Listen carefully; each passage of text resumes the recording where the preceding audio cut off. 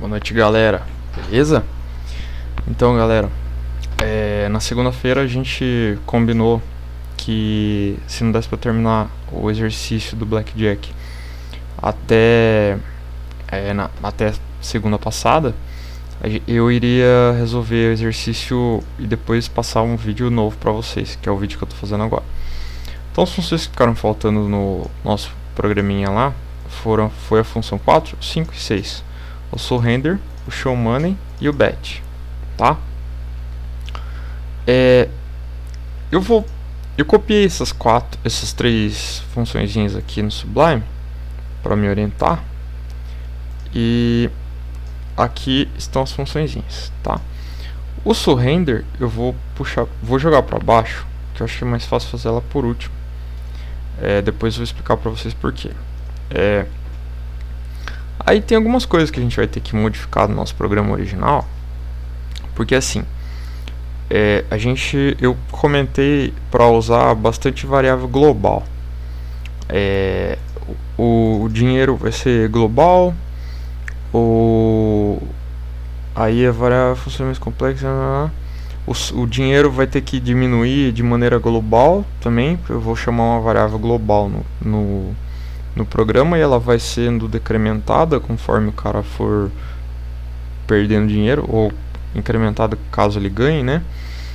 E eu acho que a rend também era bacana a gente colocar ela para fora desse main é, de uma maneira que ficasse fácil, visível, né? Então, o que, que a gente vai fazer? Vamos primeiro dar uma reestruturada nesse programa é, da seguinte maneira. Eu tenho aqui o deck é, e eu tenho hand. Eu vou ter que criar esse deck fora desse main. É, eu vou criar ele aqui, tá? E eu vou colocar ele com um nome maiúsculo, que é uma convenção da, da galera do Python que eles usam esse tipo de convenção para saber que é uma variável global, tá? Ó, eu vou puxar todas essas funções para fora. Aqui eu só vou printar o deck. É, a rend vai ficar aqui fora também. Rend deck. É, aí a essa função pode ficar aqui dentro, que é o show. Só as estruturas de dados a gente vai deixar do lado de fora, tá? E até esse shuffle aqui, eu posso fazer ele aqui dentro também, não teria problema nenhum. É, o points, o points, hum, points eu posso deixar para fora e modificando ele se bem que aqui é só para mostrar os points de acordo com a range. Ela não é bem uma, uma variável que vai armazenar dados e tudo mais, que eu vou precisar decrementar ela, incrementar ela. Cada vez que eu chamar, quem vai fazer isso é o, o show points. É, então show range e aqui vou por range. Né? E aí, primeiro a gente vai ver se está tudo funcionando bem, né? É... Ó, 27 testes passaram, 0 falharam. Então está funcionando perfeitamente bem, tá?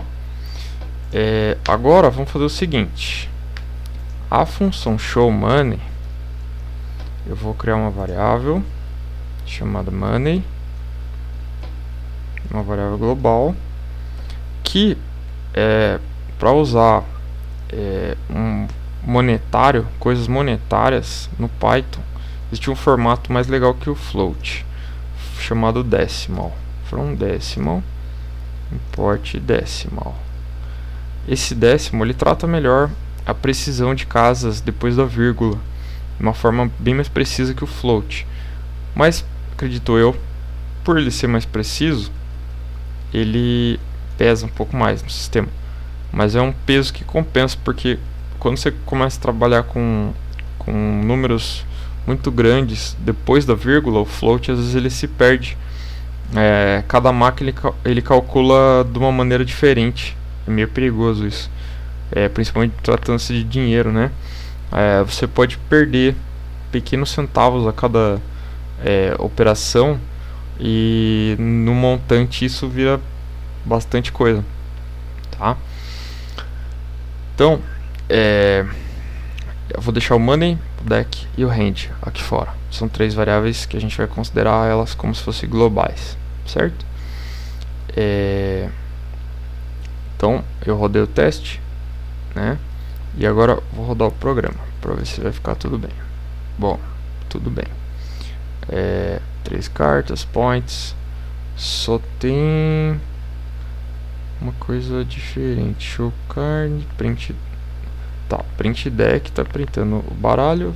Three cards é o show hand e o points eu são os pontos que eu calculei até agora.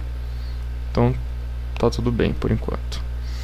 É, aí o show money a gente vai primeiro escrever o teste, como sempre, como a gente sempre faz, né? Show money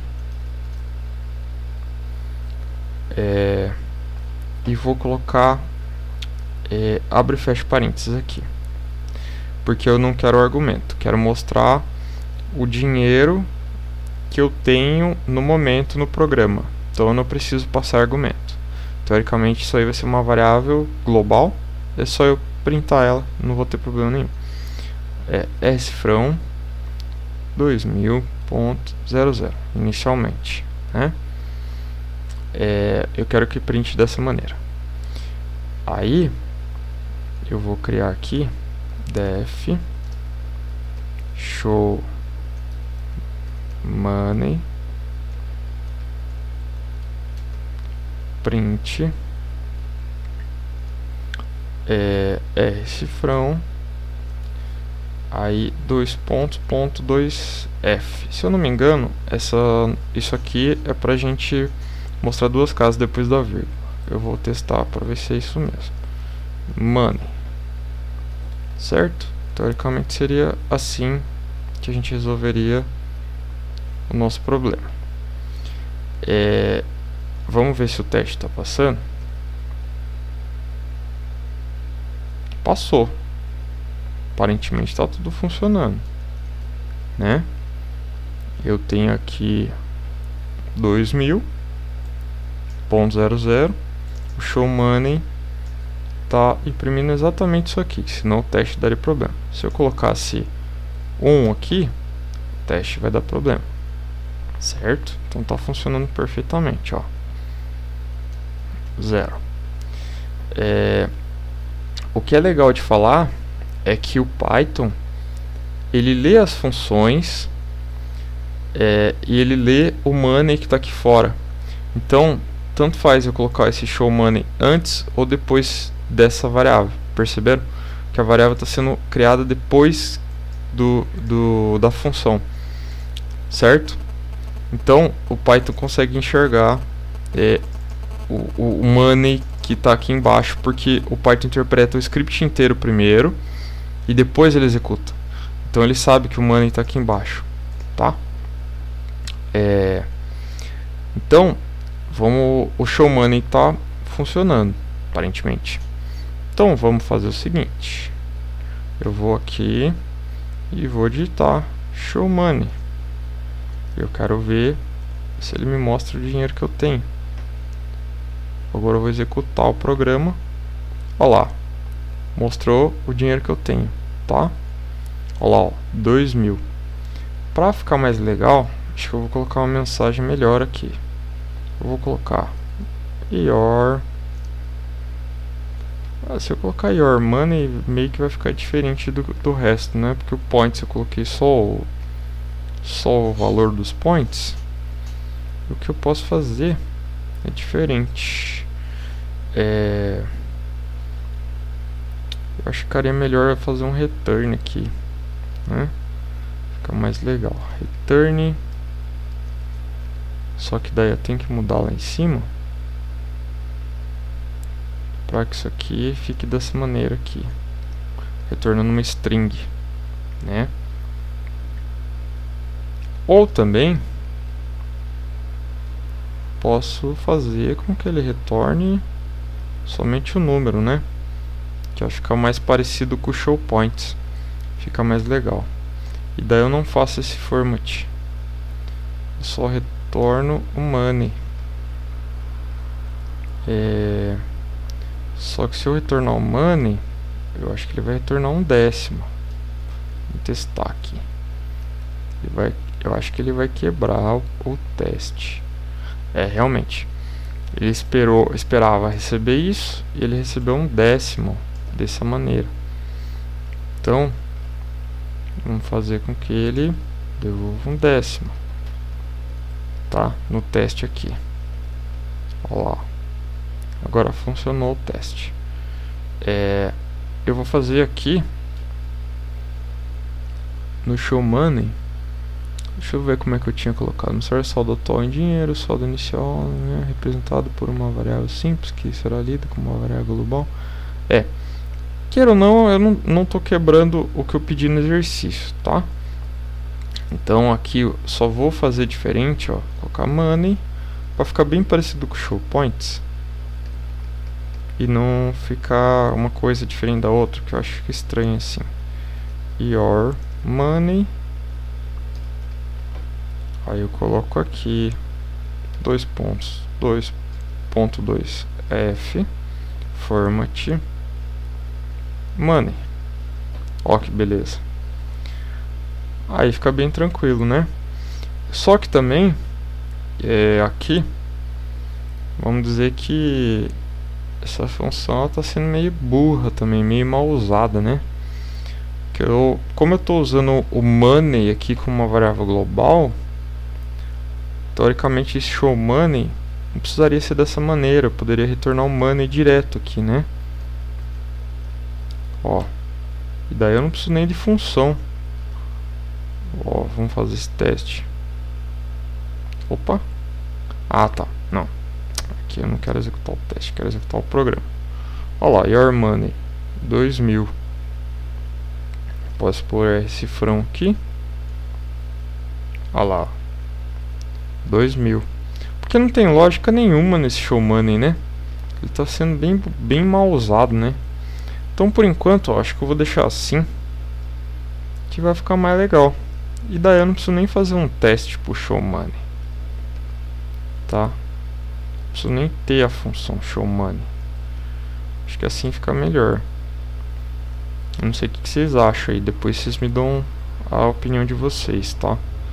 Mas o show money seria legal ser uma função se ele tivesse alguma alguma coisa para fazer dentro dela, né? Como a gente faz com points. Show points é um cara que tem um cálculo aqui meio complexo e tudo mais. O é uma pode ser uma variável global só. Então não sei se compensa fazer isso. A não ser que eu mande imprimir já essa mensagem, né? Mas aí, teoricamente, eu teria que fazer isso no points também, para ficar igual. Ah, não sei, né? É...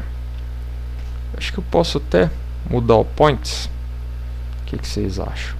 Acho que talvez ficaria mais legal. Eu vou tirar esse point aqui. E aí esse cara aqui vai ter que me retornar dessa maneira. Aqui. Tá? E eu tiro o return. Não sei o que, vocês vão achar disso. É que show dá a impressão que ele realmente vai mostrar alguma coisa. Ele não vai retornar os pontos, né? É... Isso é uma questão de definição. Acho que fica mais legal assim. Aí eu ponho show range, show points, né? Fica todo mundo no mesmo padrão. Fazendo a saída com print, ó. Porque esse aqui já tem um print também, né? Aí esse aqui vai ter um print. E daí o def show money ele vai printar isso aqui para mim. Exatamente como tá aqui. Show money. Opa, não preciso pôr money. Bem, Acho que assim fica legal. Encurta um pouco o que a gente estava fazendo no main aqui também, né? É... Aí eu tenho que mudar meus testes, né?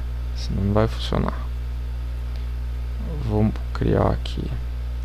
Show money. Your money 2000.00 é, Aí aqui eu ponho. Teste show money. É, no show points vai mudar um pouquinho. Vai mostrar points. E o valor de pontos. Points acho que eu pus dois pontos. Pus dois pontos. E aí points. Points. Cards. Beleza. Aqui eu acho que vou colocar só money né? Money. Your money senão fica diferente do padrão também. Só pra gente manter um padrão aqui né? Que eu sou um pouco chato com isso. Mas vai ficar mais legal vamos ver ó funcionou vamos ver se o teste passa Ó, todos os testes passando também. Então, deu uma reestruturadinha no programa aí e criei o show money, né? Então, eu vou fazer um commit. add de commit m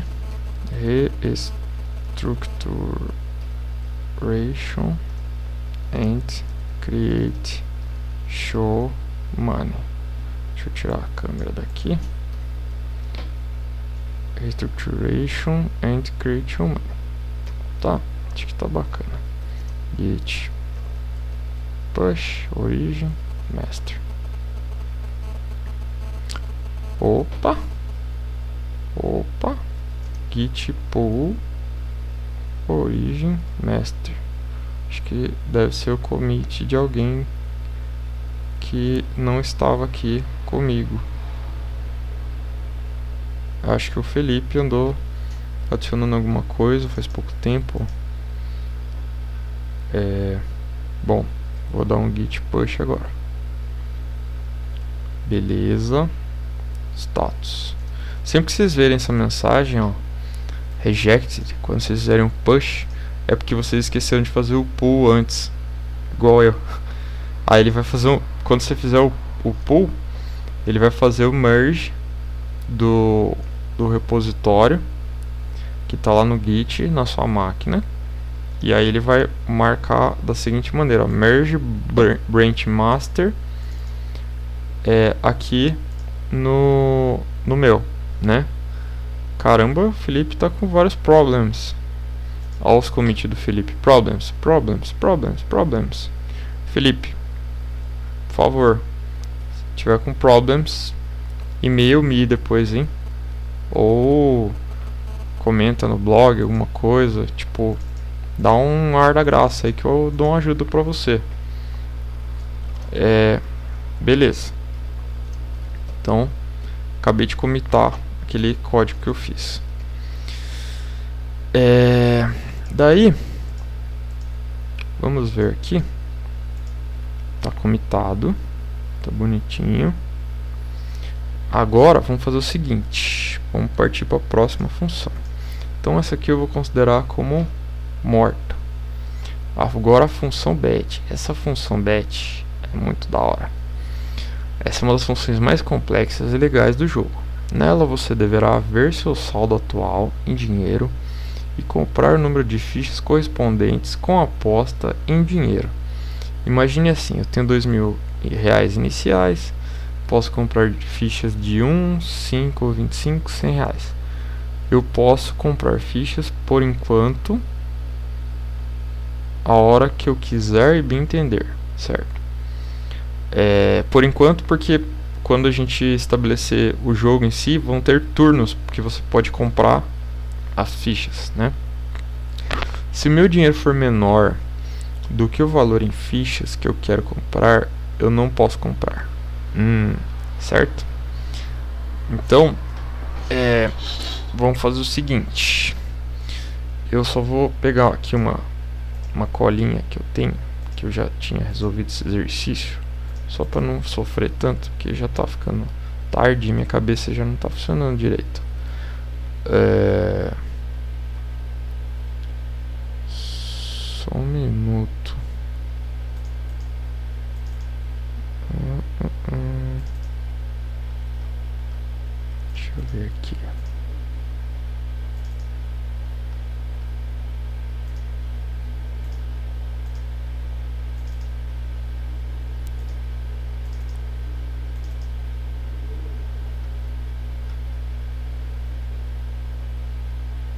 Nossa, que bagunça. Preciso arrumar esses meus códigos. Uma sequência melhor. Até para passar para vocês.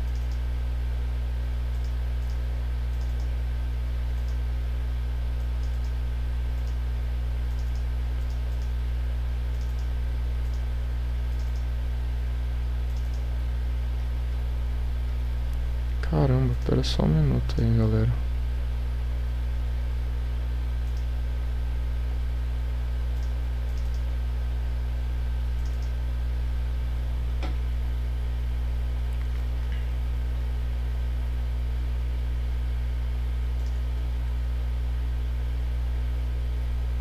Bem, vou fazer do zero. Eu não achei exatamente o código que eu queria e vem perder muito tempo procurando. É... Então a função bet a gente vai ter que passar é, qual a ficha a gente quer comprar primeiro, como argumento. Porque eu posso comprar ficha de 1, de 5, de 25 e de 100, né? É, eu vou chamar esse argumento de coin. Acho que coin. Coin, ficha em inglês. Vamos ver. Coin é moeda. Ficha. Record, plug, card. Card vai complicar, né? Counter, contador, poker chip. Poker chip, nossa. É, bom, eu vou chamar de coin coin, acho que é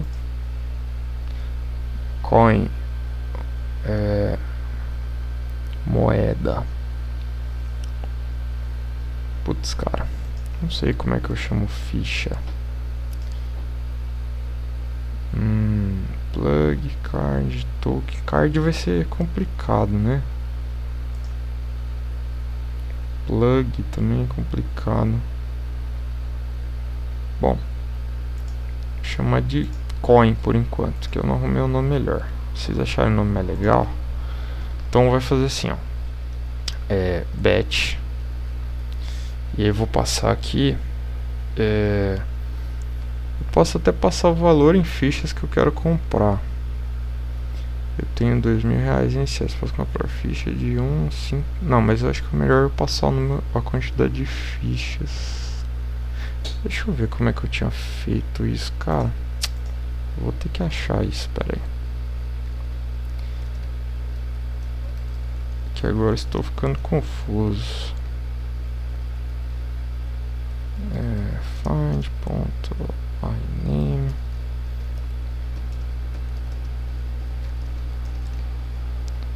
postar. Acho que era isso o nome que eu tinha dado.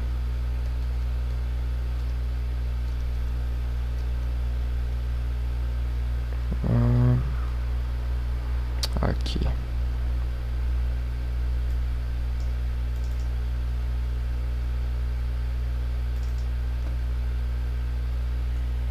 Só um minuto.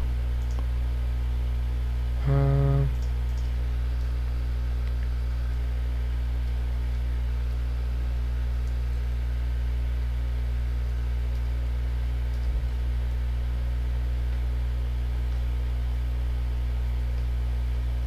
Ah, beleza. É... Tá. Eu tinha feito como aposta. Chamado de aposta. A aposta ela poderia ser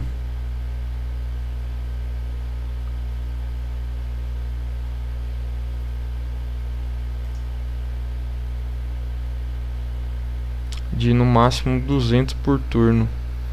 Isso eu não escrevi, né? Então vou fazer de uma maneira mais simples aqui para não sacanear vocês também. Vou fazer do jeito que eu estava pensando. Chama de coin. É... E aí eu posso comprar as fichas. Ah, detalhe, não é coin aqui, né? Eu tenho que comprar. Vou, vou passar 100 primeiro. É... Aí eu vou retornar aqui. O o que que eu preciso retornar? Na verdade eu, eu, posso retornar as fichas que eu comprei. Mas a ficha que eu comprei bom o bet já é aposta. Hum, essa função ficou mal definida, né? Não sei se vocês tiveram uma dúvida quando vocês leram o exercício, mas agora que eu percebi, ela ficou bem mal definida o jeito que eu escrevi ela. É... Vamos basear no que tem aqui. Eu tenho dois mil reais iniciais, posso comprar ficha de 1, 5, 25 e 100. Posso comprar fichas por enquanto, a hora que eu quiser, bem entender. Meu dinheiro for menor do que o valor de fichas que eu comprar, eu não posso comprar. Então, eu vou passar aqui 100 reais e praticamente o meu show money, quando eu rodar ele de novo, ele vai ter que ter menos dinheiro, certo? Ele vai ter que ter 1900. Vamos fazer assim, tá? E eu só vou poder, inicialmente, comprar ficha de 1, 5, 25 e 100, certo? Não mais e não menos. É... Teste bet. Vamos fazer do modo simples primeiro. Aí, vamos rodar o nosso teste. Rodando nosso teste. Opa que, que vai acontecer? Name bet is not defined, porque a gente não definiu o nome, né? Vamos criar então um nome bet, bet igual none. Vamos rodar o nosso teste de novo. Type error, non-type object is not callable. O bet precisa ser um callable, né? Esse cara não é um callable. Para ser um callable tem que ser um objeto chamável ou uma função que também é um objeto chamável, né? É, então vamos lá, return none. Agora tem uma função chamada bet que retorna none. É, aí o type error bet takes zero positional arguments, but um as was given. Ou seja, eu passei um argumento, mas eu não estou usando esse argumento aqui. É, então eu vou ter que declarar um argumento aqui, ó. Vou chamar de coin por enquanto. É, beleza. Daí, vamos rodar de novo. Ó, o que, que aconteceu aqui? Ele esperava agora receber. É, ele esperava que o show money mostrasse 1900, mas ele mostrou 2000. Hum, então, por que, que ele mostrou 2000? Porque eu estou retornando none aqui. Esse cara não fez nada com o money, né? Então, o que, que ele vai ter que fazer? Vou fazer money. É... Primeiro, a gente vai ter que verificar se ele recebeu a ficha da maneira correta, tá? Então, as fichas permitidas são 1, 5, 25 e 100. É, if coin in 1, 5, 25 e 100 ok. Ah, if coin not in. É, raise exception. É, ficha. É, ficha inválida para aposta. Esse raise ele vai levantar um erro e vai estourar na cara do usuário aqui, tá? É, quando ele passar um valor de coin que seja diferente de 1, 5, 25 e 100. A gente até pode testar isso no nosso teste aqui também. Quer ver, ó. O bet é 30, por exemplo. O 30 tem que levantar uma exceção. É... Eu não sei como é que a gente vai poder tratar isso aqui. É... Não sei se... Bom, eu não vou fazer teste para isso por enquanto, tá? É, porque aqui no, no Unity Test ele é meio limitado para esse tipo de coisa. A gente precisa de uma ferramenta melhor para a gente tratar esse tipo de, de coisa. Eu posso até marcar aqui para a gente não esquecer depois que quando a gente estiver começando a usar o Unity Test a gente precisa ver isso aí. Vou por bet 30. É, teste raise exception, tá? Teste bet raise exception. Vou colocar aqui como comentário isso aí. Perfeito. Então, quando eu receber um valor que não seja 1, 5, 25 e 100, vai dar uma exceção.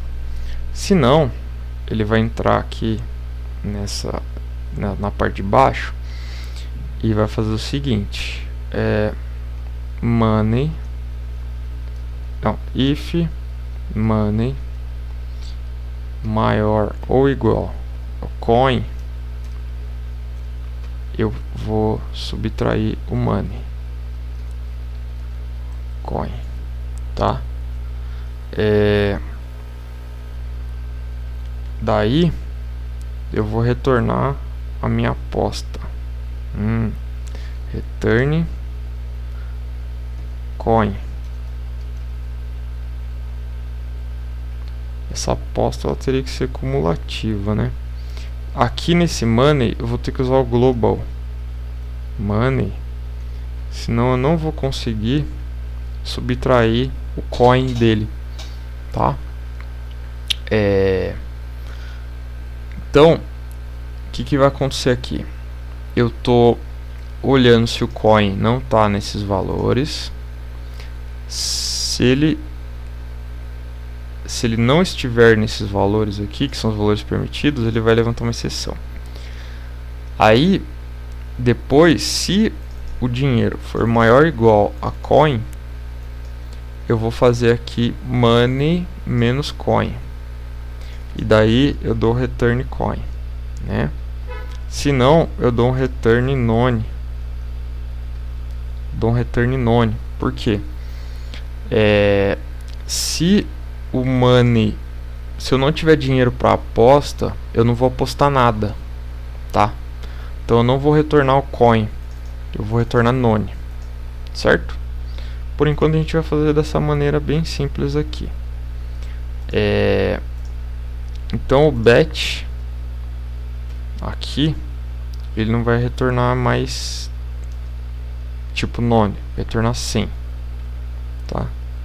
Vai retornar 100 e o show money tem que tem que diminuir, né? Então vamos ver se funcionou.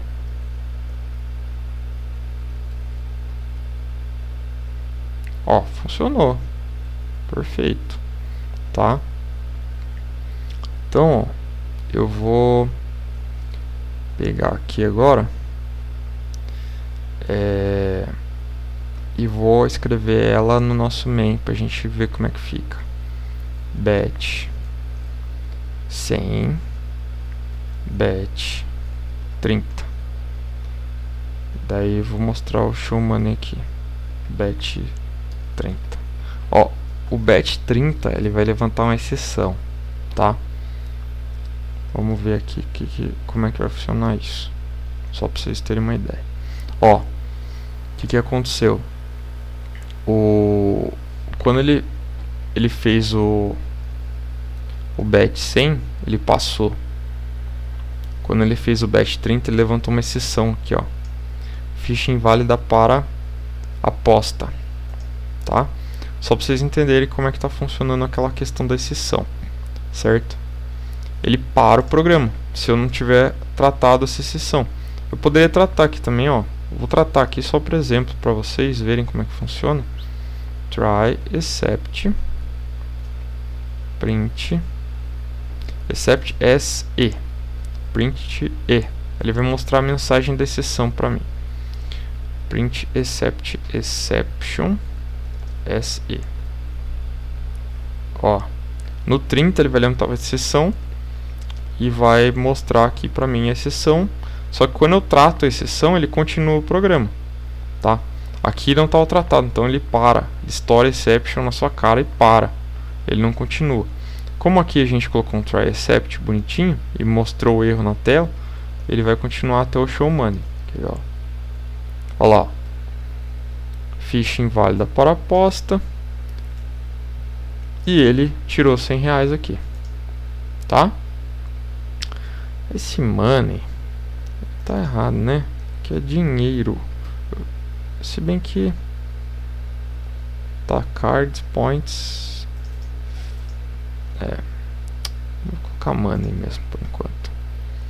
É invalid coin to bet. Vou colocar em inglês também. Só para manter o, o padrão. Invalid coin to bet. Pronto. Só para manter o padrão, tá? Tudo em inglês, programa inteiro, até as mensagens. Bom, então, sucesso. O batch está implementado da forma bem simples. Não tem tanta regra do, do jogo de 21 mesmo. Mas está funcional, tá? Tá removendo os valores que tem que remover. E se eu remover mais vezes também, ó, ele vai remover. O que seria legal é se essa aposta fosse cumulativa, né? Que aqui eu estou apostando 400 reais, ó. Só que ele vai considerar 100, que eu tenho uma ficha de 100 só, entendeu? Num próximo momento a gente pensa nisso, certo? Olha lá, ó. diminuiu, tá 1.600 agora.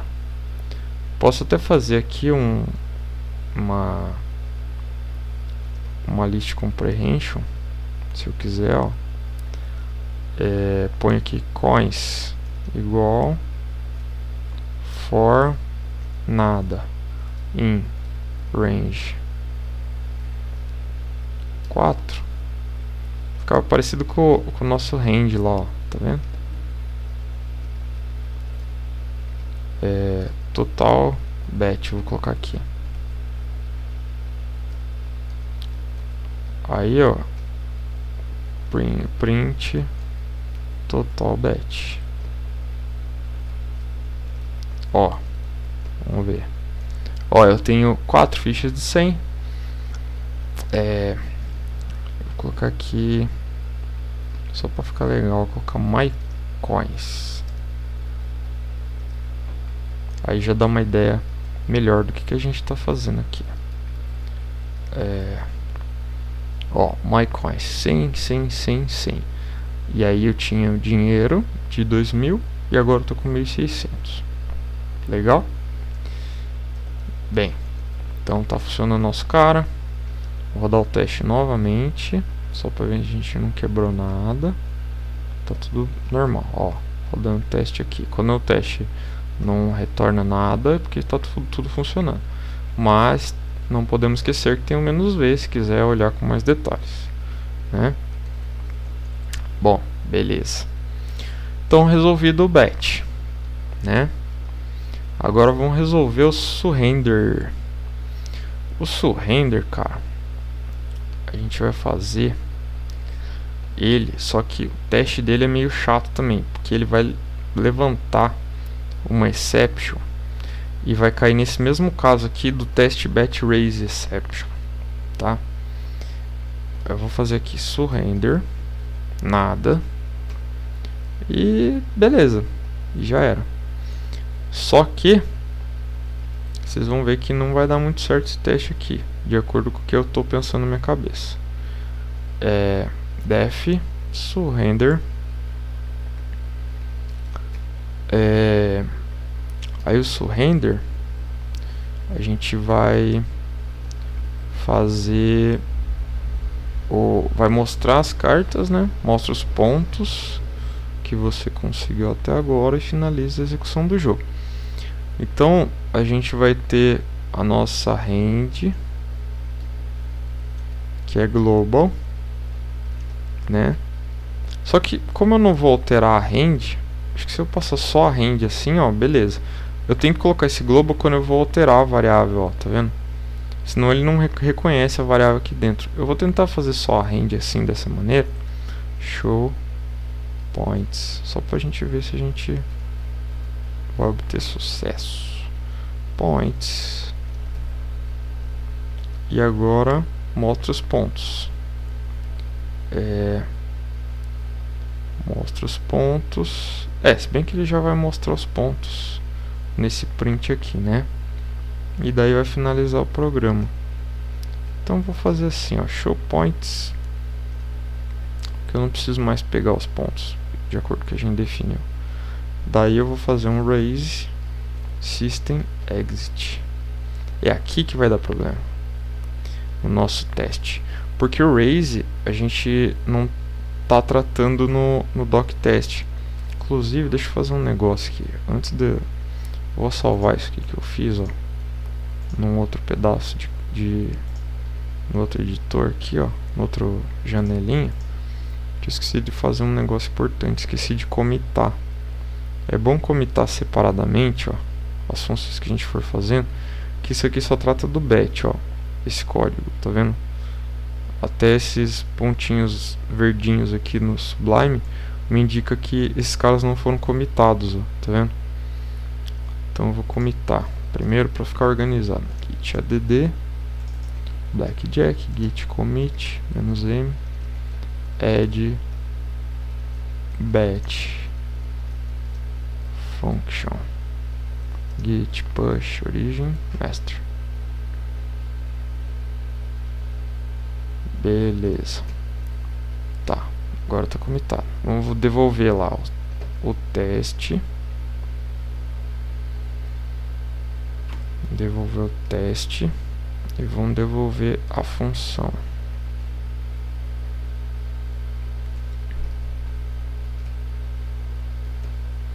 Ó, então vamos rodar ela aqui. É, ó, doc teste o que, que aconteceu aqui, ó? Ele deu um raise system exit, só que ele não estava esperando receber esse raise lá naquele pedaço de código que a gente estava tratando, certo? Então, eu recomendo por enquanto a gente deixar esse teste em segundo plano e colocar aqui, ó. Teste surrender raise, tá? que esse, esse cara, ele levanta aqui como se fosse uma exceção. Só que na verdade System Exit, ele é um cara especial do Python 3 que ele finaliza o programa, entendeu? Se eu colocar ele, por exemplo, aqui o surrender no começo do meu main, o que, vai acontecer? Ele vai matar isso aqui ó, tudo, ele vai rodar essa primeira linha e vai sair do, do sistema. Quer ver, ó? Olha lá, ó, points. Só mostrou os points, tá vendo? Então, é... Caramba, só tá dando 6 pontos. Poxa. Tá estranho isso aí, hein? Por que será? Será que eu tô sem sorte assim mesmo? Bom, acho que sim. É... Eu vou pôr esse surrender então, ó. Aqui, ó depois desse print.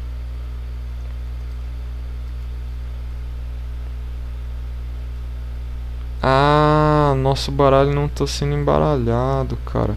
Ó as três cartas que estão vindo sempre no no show hand, ó. As 2 e 3. Ah, é porque está embaralhando aqui, ó. Hum, então vou embaralhar aqui, ó. Senão a gente vai sempre pegar a mesma mão. Isso é chato, hein? Bem, então vamos fazer aqui, ver se está funcionando. Ah, agora tá funcionando. Points 24, 11, 14. Beleza. Agora tá funcionando corretamente. Foi aquela hora que eu reestruturei. Que eu não percebi que eu tinha feito isso. É, o shuffle tem que vir depois do deck, ó, senão ele vai pegar o deck sem embaralhar, né? E essa função que puxa as cartas aqui, a gente tava fazendo com pop, a hit, né? E ela vai pegar as três primeiras, se você não embaralhar, porque ela vai fazer pop, pop, pop, vai pegar as três primeiras, tá? É, bem, então tá funcionando perfeitamente. A gente pode até testar melhor aqui, ó, e puxar mais uma cartinha. Puxar mais uma cartinha, ó, antes de dar o surrender. Que daí que vai acontecer? O show point vai estar tá diferente. Aí os points do surrender vai ser diferente do points do show point. Quer ver, ó? Ué.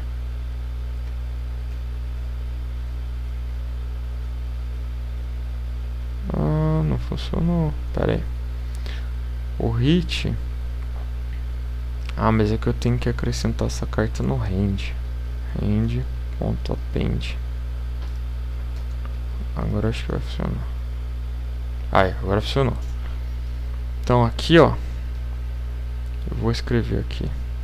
Add one more card on hand to verify é, funcionamento how surrender works tá então adiciona uma carta a mais na mão para verificar como a função surrender funciona como surrender function works beleza porque aqui, ó, o show points vai ter três cartas. E aqui vão ter quatro cartas. Aí os pontos vão ser diferentes no surrender. Porque o surrender vai chamar o show points de novo e vai finalizar o programa. Só isso que ele faz. Olha lá que beleza. Até posso colocar aqui uma brincadeirinha. Print. Finish program. Não, por finish só. Olha lá. Finish. Finish with. With. Finish with. Points 32. Beleza. Terminamos o exercício básico. E depois agora vem a parte 2 do exercício que a gente vai fazer as coisas mais legais e deixar o jogo jogável mesmo, tá?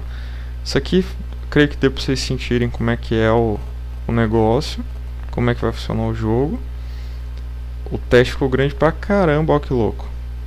Depois a gente vai reescrever isso aqui no Unit Test na segunda-feira, pretendo, tá? Porque esse teste aqui ainda não tá legal pra gente começar a escrever o programa mesmo. Vai dar muito trabalho para fazer algumas coisas. Tá?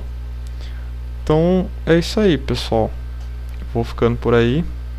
Aqui já é meia-noite e 14 agora. por isso que eu tô com essa voz de sono, não é de mentira, tô com sono mesmo. Mas é isso aí. É, a gente vai ficando por aí. Segunda-feira a gente se vê. Eu vou comitar essa última alteração. É, a alteração que eu fiz foi no surrender né? git status git add blackjack git commit "-m add surrender function git push origin master e eu espero que vocês coloquem os códigos de vocês no GitHub, viu? Até agora, só o Felipe colocou, ó. Só tô vendo o nome do Felipe no log aqui. Ó. Tá, eu sei que vocês terminaram. Vinícius, é, Elton, o Thiago, os três eu sei que terminaram. Então, por favor, só submeta no GitHub lá, ó, os nomes de vocês estão até aqui nas pastinhas já, ó. Tá fácil. Certo? É... Então é isso aí, galera. Falou aí. Boa noite. Até mais. Até segunda.